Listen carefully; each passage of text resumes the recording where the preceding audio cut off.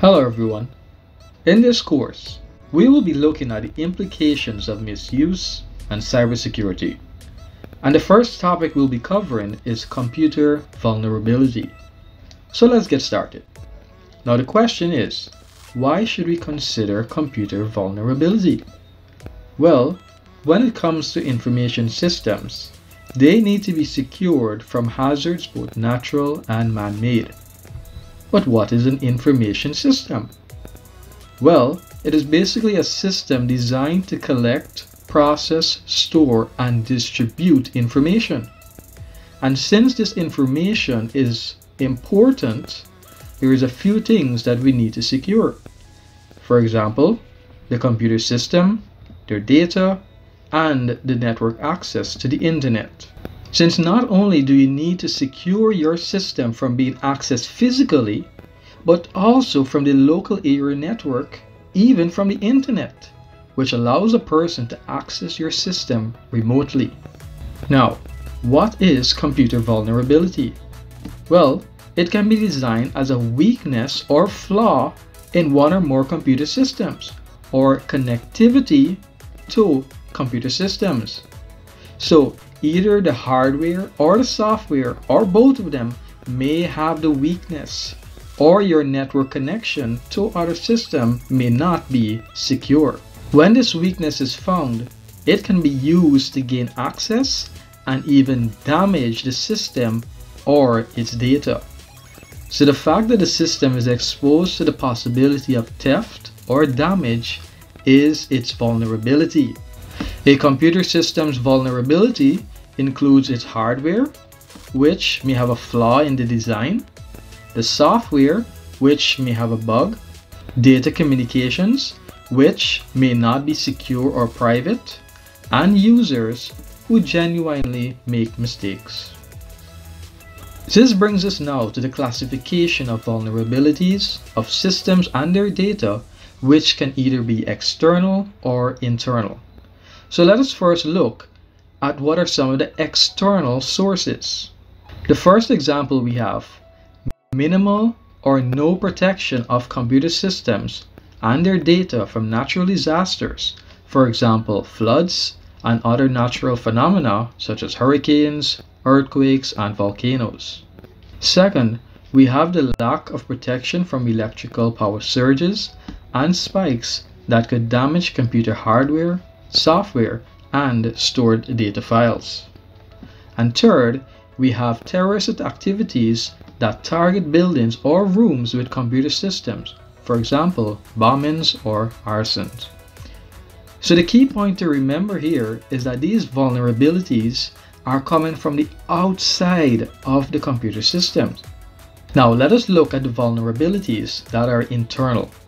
First, we have errors by employees who overwrite or erase data. For those of you who are familiar with Microsoft Word, if you try to save a document with the same name, it normally asks you if you wish to overwrite the previously named document. And if that document is overwritten, under normal circumstances, it may be impossible to get back that old file. Second, no backup procedures is in place for data files. If you do not make backup of important file to another location, then if the original file is deleted, we have nothing to replace that file with. Third, hardware and software are not kept in locked rooms or passwords not created to access software. So by simply having your system in the open is a vulnerability. Fourth, internally produced software known as proprietary software, which may be flawed and may, as a result, damage data. The software developer may not actually resolve all of the bugs in the software or maybe over time this specific software develops a bug. Fifth, lack of antivirus programs to scan email attachments for viruses. If we do not have an antivirus to block these viruses, that when we open an email, viruses can be downloaded easily to our computer, thus infecting our system. 6. former employees whose passwords and security information have not been removed from the system. If these credentials are not removed promptly by administrators, then they can be used by hackers to get into a system. And lastly, employees who attempt to fraudulently obtain money using the company's name. For example, by receiving payments for non-existent orders. So say for example in a database an employee may enter a fake record that someone made an order and is now making that person pay for an order he did not receive. So this covers the internal sources and I'm sure as you can guess an important point to remember is that these vulnerabilities are usually from the inside of the computer systems. Here we have an image of an external source, a bad or faulty power strip, which can cause power surges, which can damage computer hardware and even the data that has been stored on them. Our next subtopic is threats and security. So the question is, what is the goal of a security threat? Well, a security threat attempts to take advantage of a vulnerability or weakness in a system or its data. It can be a possible danger to one or more computer systems or by extension a network. So a security threat is basically a weakness or a flaw in a system. Now, what is computer security? Well, this refers to the protection of hardware and software resources against their accidental or deliberate damage, theft, or corruption in the case of software. What is data security? Well, this is the protection of data against intentional or accidental damage. Now, it is important to note that computer users can represent the greatest threat to a company's computer system security since only authorized persons should have access to the computer system of that organization. Computer networks are structured so that each user has access only to the various programs or data they need for performing their duties. Each user, for example, is provided with a username and password with which they log in to use network resources. So an administrator would design the system so that a user can only access only what he needs to carry out his work, thus reducing any risk. Next, we will be looking at two types of damages. First, we will be looking at deliberate damage. And one way is by hacking. Now hacking is the unauthorized access and use of networked or standalone computer system to steal or damage data and programs. So either the hacker wants the data so that he can use it or sell it, or it may be someone who is vengeful towards the company and wants to destroy the data of that company. Deliberate damage can occur when there is a planned attempt to bypass all legitimate access restrictions. This damage usually occurs when security monitoring is not enforced.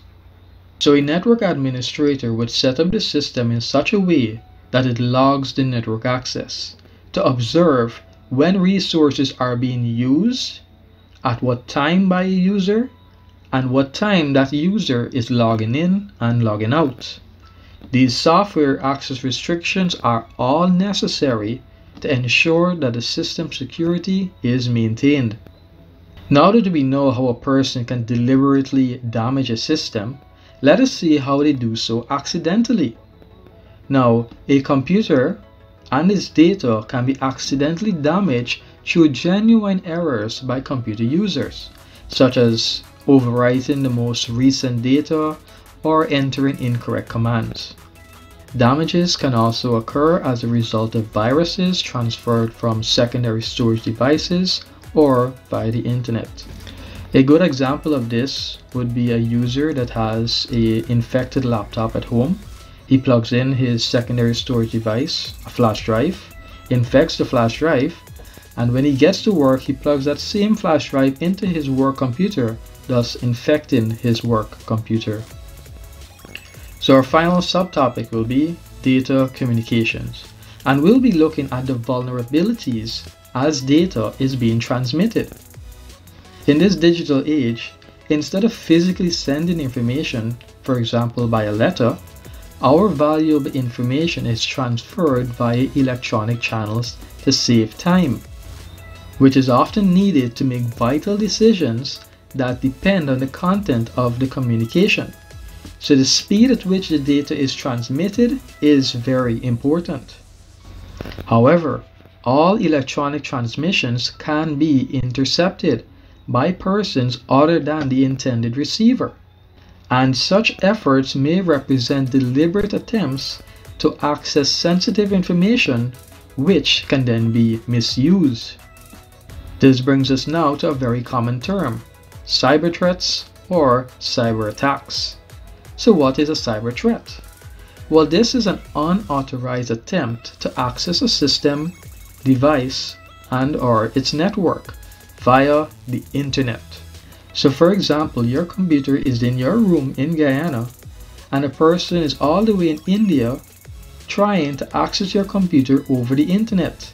Maybe to either use your computer for something bad or to get the data off of your computer. This is why cybersecurity is so important. Cybersecurity focuses on stopping threats that attempt to access a computer or other systems in a network. It protects the network by maintaining logs on attacks and attempted breaches, monitoring sources of attacks, and protecting against future ones. Here we have an image of a person who can freely use their computer at home while connected to the internet because of cyber security.